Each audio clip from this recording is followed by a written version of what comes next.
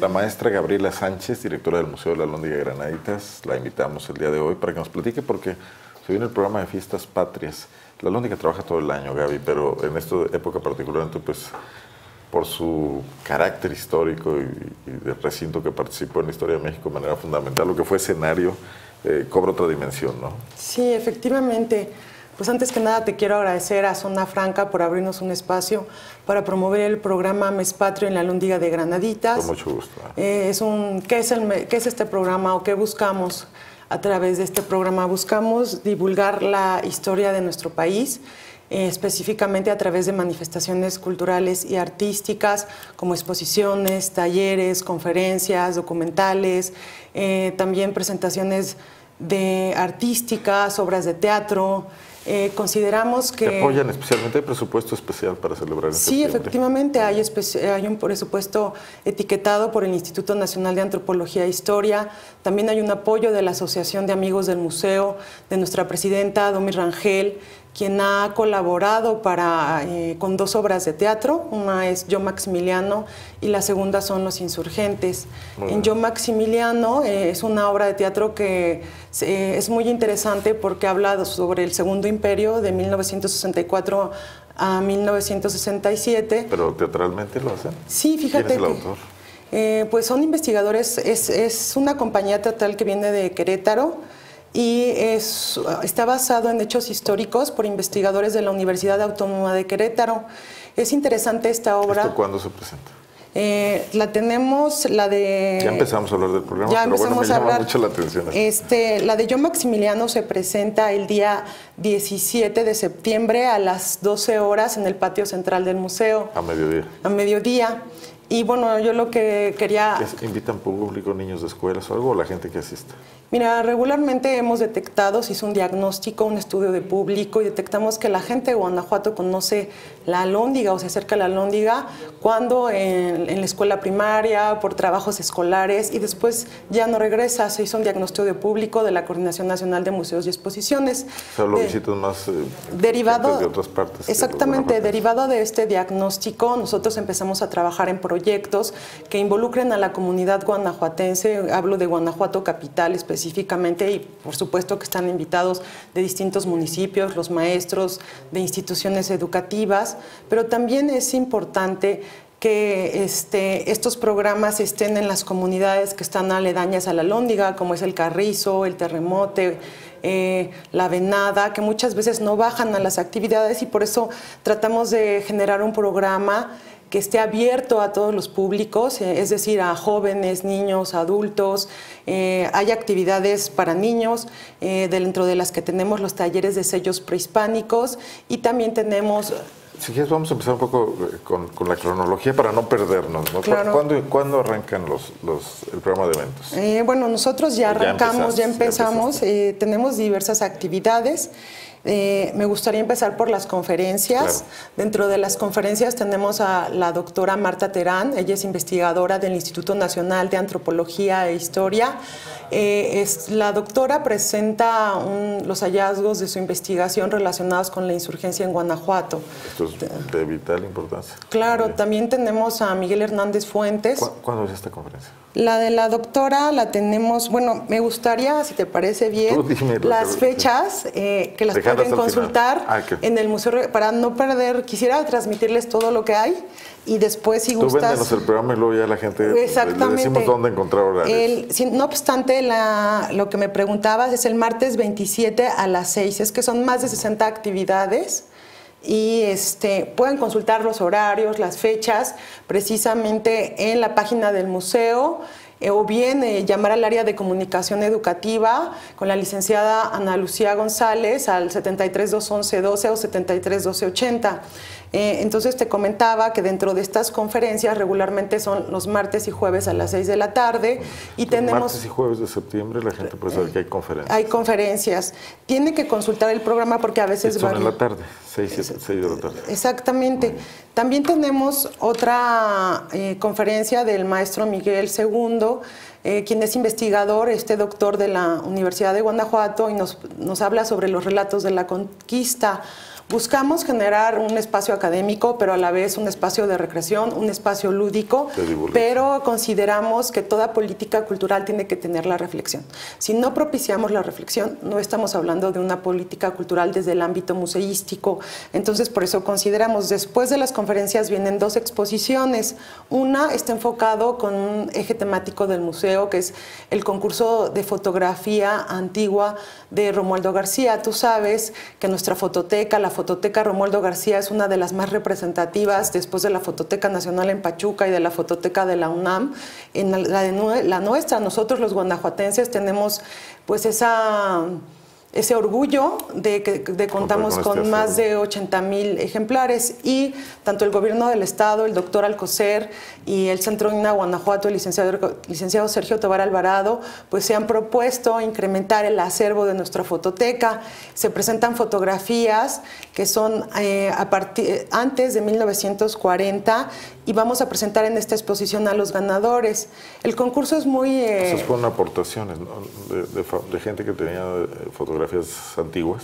Precisamente lo que estamos buscando es rescatar los usos, las costumbres, las expresiones artísticas, hechos históricos. de estas fotografías. Eh, sí, nos quedamos con una copia digital y en algunos eh, concursos anteriores hay personas que han donado al museo su fotografía original y es interesante porque conocemos un Guanajuato y no perdemos... ¿Qué, tanta Perdón que te interrumpa, pero si no, no me dejas.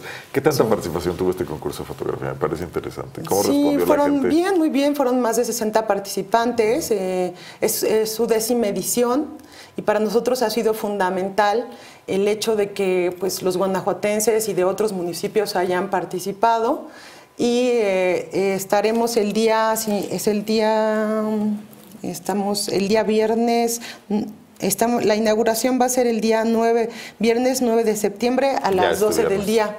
Y eh, también tenemos eh, dentro de nuestras actividades eh, dos, otra obra de teatro que es Los Insurgentes. Esta obra de teatro se va a llevar a cabo a las 6 de la tarde y resalta los principales fenómenos de la insurgencia de nuestro país. Estas dos obras de teatro son avaladas por investigadores de la Universidad Autónoma de Querétaro. Queremos no solamente abrir un espacio académico, sino también abrir un espacio que represente la reflexión de una manera lúdica y recreativa.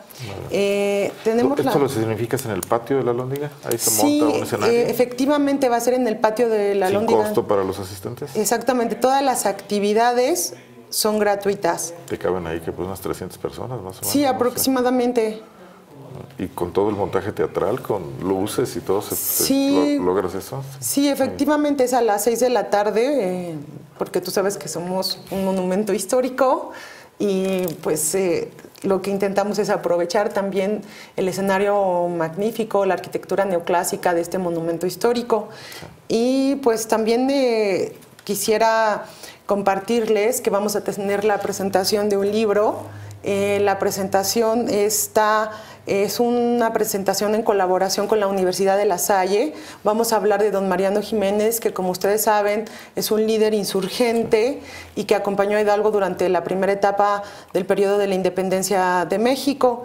Y eh, también quisiera invitarles a que conocieran el patrimonio cívico. Eh, yo me imagino que tú estás enterado que del 13, 14 y 15 de diciembre vienen de diferentes estados, es principalmente del estado de Jalisco, Michoacán, estado de México, por la renovación del fuego simbólico y la toman. Y es una es una ceremonia cívica. A mí me gusta mucho lo que dice Lourdes Arispe, que fue directora general de la UNESCO y también es una gran antropóloga eh, de nuestro país. Y ella habla que el patrimonio cívico ayuda a construir el tejido social. Y tiene un libro, que, lo cual lo recomiendo, que habla sobre el patrimonio cívico como parte del patrimonio cultural de nuestro país. Y yo creo que la ceremonia de renovación del fuego simbólico es, muy importante. Que además se lleva a cabo cada, cada mes, justamente el 28, ¿no? Sí, el 28 de septiembre están todos invitados. En esta ocasión invitas a estados de a, representaciones de otras entidades? Sí, exactamente. Ellos mismos, y es una tradición, nosotros no los invitamos, sino que solicitan que el espacio para llevar a cabo pues un, discurso de lo que para ellos representa la independencia, eh, toman una parte de la, del fuego, de la renovación del fuego y lo llevan a sus distintos municipios y es una manera de celebrar también para ellos el mes patrio. Aprovechando septiembre. Exactamente. Y bueno, la ceremonia del grito, pues importante. sí, efectivamente. El 15 en la noche tenemos el grito con el señor presidente municipal de Guanajuato. Y finalmente yo quisiera eh, pues reiterarles que conozcan el patrimonio de la Lóndiga de Granaditas a través de estas actividades. Si no se puede en septiembre, en cualquier otro mes es bueno. Ahí está el acervo importante del museo. Exactamente, como sabes tenemos patrimonio arqueológico, artístico, histórico, etnográfico y yo creo que pues uno se siente orgulloso cuando tiene la oportunidad de trabajar y cuidar el patrimonio para las futuras generaciones y sobre todo eh, considero que el museo, eh, si bien es cierto que tiene tres ejes fundamentales, que es la investigación, la conservación y la difusión del patrimonio, también lo es que es un agente detonador de desarrollo cultural, es un agente detonador de cambio social y un agente que construye ciudadanía. Buscamos generar ciudadanos respetuosos de la diversidad, conocedores de su historia y críticos sobre todo. Entonces, este... ¿Cómo están en materia de visitas? Digo, a lo mejor la gente de Guanajuato, como tú dices, va cuando esté en la primaria, pero los visita gente de muchas partes del país, ¿no? Sí, eh, tenemos una afluencia anual de, de 250 mil personas aproximadamente, varía con año, pero oscila entre 200 y 250 mil personas. Comparado con otros museos del instituto. Por ejemplo, estamos dentro del tercero y cuarto lugar. El número uno es el Museo Nacional de Antropología e Historia. El Museo de las Momias nos rebasa. Y aquí... Pero eso no es, histórico. ¿no? es histórico, pero sí es interesante porque puede uno ver la afluencia que tiene ese museo. Por ejemplo, en Semana Santa tuvieron 11 mil y nosotros tuvimos en Semana Santa, hablo de un día, y en Semana Santa 3.500. Entonces, pues son la gente que lleva mucho de nuestro público. Un par de películas. Coincido contigo, coincido contigo, pero yo creo que es importante si uno quiere ver eh, o analizar cómo está la situación de sus visitantes, ver quiénes son sus competidores. Entonces, estamos eh, muy bien en la afluencia. Yo creo que como gestora cultural es muy importante para mí eh, conocer eh, qué tipo de público tengo. Tengo extranjeros, estudiantes de primaria y secundaria, pero también queremos, como ya te dije a través de este diagnóstico, ser un museo de su comunidad. Si bien es cierto que somos un museo regional, yo creo que hoy en día cuando una institución pública recibe erario público no puede hacerse a un lado de las necesidades que ve en el Carrizo, la Venada, ah, y entonces eh, sí es un, interés de este museo trabajar de manera conjunta con sus comunidades que están aledañas y una manera de hacerlo es con estas actividades. Hoy quiero invitarlos precisamente a que asistan a una actividad que para mí es muy representativa de la música mexicana. Eh, son grupos locales, regionales, son los Leones de la Sierra ah, de Jishú. Es el día de hoy a las hoy, eh, hoy a las 6 de la tarde. Los esperamos, asistan y conozcan la música tradicional.